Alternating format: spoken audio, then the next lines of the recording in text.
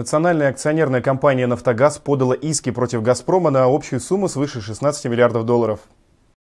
По словам премьер-министра Арсения Яценюка, все судебные тяжбы по вопросу транзитного контракта с российским поставщиком будут проходить в Стокгольмском арбитраже. Работы по судебным искам занимались в течение полугода ведущие международные эксперты и юристы, на которых «Нафтогаз» потратил 65 миллионов гривен.